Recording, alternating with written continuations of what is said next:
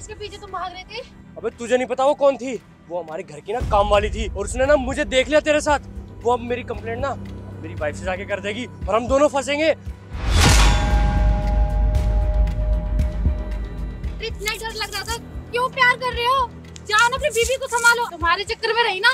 लड़ने जा पाऊँगी ना शॉपिंग करने जा, जा पाऊँगी जाऊँगी तो डायरेक्ट ऊपर। अबे चुप कर। तेरा दिमाग खराब है क्या?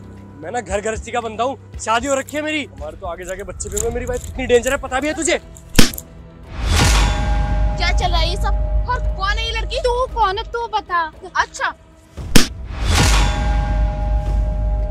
वाइफ है इसकी। क्या? तू कौन है? तू कोई चुड़ैल है ना जो अभी बात कर रहा था? मेरे बच्चे हैं मेरी बीवी है। क्या बोल रही है दो कोड़ी की लड़की? मुझे चुड़ैल बोल रही है। अबे ओए दो कोड़ी की नहीं इसकी गर्लफ्रेंड हूँ मैं। अबे चुप करो तुम दोनों।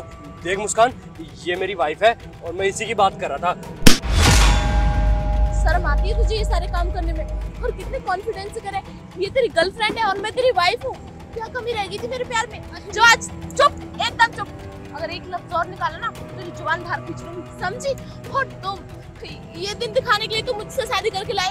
और क्यों ही शादी की? जब तुम्हें इससे प्यार था इसके साथ रहना था तो मुझसे शादी क्यों की? उस टाइम भी मना कर सकते थे ना? और कौन सी हमारी अरेंज मैरिज हुई है? लव मैरिज हुई है ना?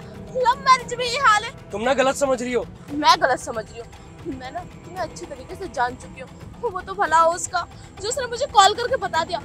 वरना मुझे तो कभी पता ही नहीं चलता कि तुम मेरे पीठ पीछे क्या क्या गुल खिला रहे हो। यार मुस्कान हम बहुत टाइम से डिनर पे भी नहीं गए। शाम को चले क्या? आपका डेली का होता है। शाम को चले आज चले कभी लेकर गए हो आप? अरे यार ऐसी क्या बात कर दी यार? चल बढ़िया। सुन ना आज चलते हैं शाम को कहीं। ठीक है लेट नाइट के लिए। पक्का ना? हाँ दो बजे तक आ जाएँगे वैसे भी। वैसे मम्मी को कुछ प्रॉब्लम तो नहीं होगी ना? नहीं पता होगा ना। चुप कर। क्या हुआ? ये यहाँ क्या कर रही है? कौन है ये? पकड़ इसको।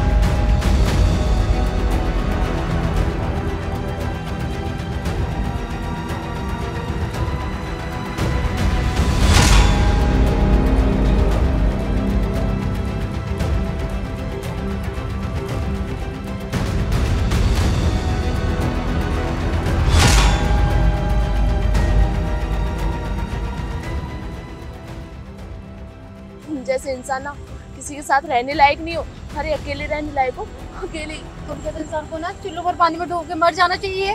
क्या भी कर रहा है? हाँ तुझे पता है वो ऑलरेडी मैरिड है। फिर भी तूने ये सारी हरकतें की। उसके बच्चे तक है। फिर भी तुझे शर्म नहीं आई उसके साथ गुलछर्रे उड़ाने में? और तुझे मेरा ही घर मिला था क्या तोड़ने के लिए? तुझे कोई और लड़का नहीं मिला पूरी दुनिया में? मेरी दोस्त होके मेरे पति पे डोरे डाल दिया वाओ कितना अच्छा है ना? कौन है जो ऊपर बैठी है। हाँ? भैया नीचे उतारिए उनको लग सकती है। अरे उतरो। उसको उतारो। अभी वो लंच करने गए हैं। उनको उतारो जल्दी से।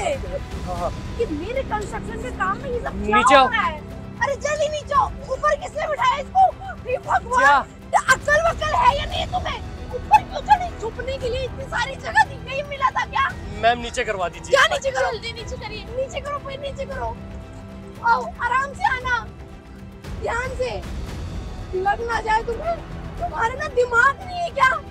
हद होती है। शिट मेरे कंस्ट्रक्शन के काम में ये सब क्या हो रहा है? आओ। बाहर आओ। ठीक हो ना तुम तुम्हें लगी क्या ठीक हो? कौन हो तुम लोग? और यहाँ क्या कर रहे हो? अरे ये मेरे घर की काम वाली है। लेकिन मैं इसे काम वाली नहीं बिल्कुल अपनी बहन जैसी मानती हूँ। और ये मेरा पति है। ये मेरे पति की गर्लफ्रेंड ये सब क्या हो रहा है? मुझे कुछ समझ में नहीं आ रहा मैम रहा तेरी वजह से हो रहा है। मेरे सामने तेरी इतनी हिम्मत पड़ गई है तू पे हाथ उठा रहा है और कितना गिरेगा। पहले ही गिर चुका है। अब क्या मरने का प्लान है? मैम साहब, ये देखिए। आपका पति क्या कर रहा है इस लड़की के साथ? बस हमने रिकॉर्ड कर ली थी वीडियो ताकि आपको आगे बताएँ। और इतने में ये पीछा करने लगा। आपको तो पता है ना आपका पति पुलिस वाला है वो मेरा इनकाउंटर भी कर सकता था। इसलिए मैं भागते भागते यहाँ तक आ गई। अच्छा तो ये पुलिस वाला है और इनकाउंटर करेगा। हाँ? पता है मैं कौन हूँ? पता है ये जो 200 एकड़ की ज़मीन दिख रही है ना ये पूरा काम मेरे अंदर चलता है। और मेरे पापा यहाँ के एमएलए हैं। और तू एक लड़की के साथ गलत कर रहा है एक बीवी को धोखा दे रहा है। और साथ ही साथ किसी एक इंसान को धमकी दे रहा है। आप एमएलए की बेटी है? हाँ एमएलए की बेटी।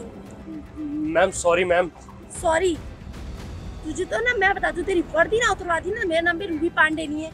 और मैम आप आपको अपने पति पर नज़र नहीं रखी जा रही क्या? कहाँ वो फूल खिला रहा है किसके साथ? घर आओ बेशर्मो अगर करना ही था तो डिवोर्स दे देता उसको। आराम से सुकून से इज़्ज़त के साथ रहना। ये धोखाधड़ी वाला केस क्या है? उसको भी रखना है इसको भी रखना है। अरे वाह दोनों हाथों में रसगुल्ले रखने हैं हाँ? मुझे क्या पता था कि मेरे साथ ऐसा करेगा वरना मैं इसकी खुशी के लिए इसे खुशी खुशी छोड़ देती। मुझे कोई ऐतराज नहीं है चाहे जिसके भी साथ ये रहे बुरा तो इस बात का लग रहा है हमारी लव मैरिज है। अरेंज मैरिज होती तो एक बार को समझ भी आता है लेकिन ऐसी लव मैरिज पर और मुझे तो मेम साहब पर तरस आता है। वो कितना प्यार करती थी इनसे और इनके लिए व्रत रखती थी। लेकिन मैं ऐसे ही आ रही थी काम से किसी के घर में काम करके और देखा एकदम से मेरी तो आँखें फटी की फटी रह गई। मेम साहब आपके साथ बहुत बुरा हुआ। कोई बात नहीं तुम सोचो। छोड़ो यहाँ से जाइए और ये केस अपना कोर्ट में ले जाइए। ना आपका पति सुधरने वाला है ना कुछ होगा आपका ज़िंदगी का। बर्बाद हो जाएगी आपकी लाइफ ओ हेलो मैडम तुम्हारा पति आता है मेरे पास। मैं नहीं बुलाती इसको। और अपने हाँ पति को काबू में रखिए ठीक है? और हाँ मुझे नहीं रहना इसके साथ। तुझे ना छोड़ूँगी नहीं मैं। हाँ, निकलना। तेरे साथ भी रहना कौन चाहता है? गया तुम्हारा देखो नेहा मैं ना तुमसे बहुत प्यार करता हूँ यार। वो ना मेरे खामे का पीछे पड़ गई थी। मेरे को कहती थी मेरे पास ये नहीं है मेरे पास पति नहीं है। देखो मेरी बात समझो प्लीज़ देखो मैं तुमसे बहुत चल पीछे के बात। पास आने की कोशिश मत करना। समझा?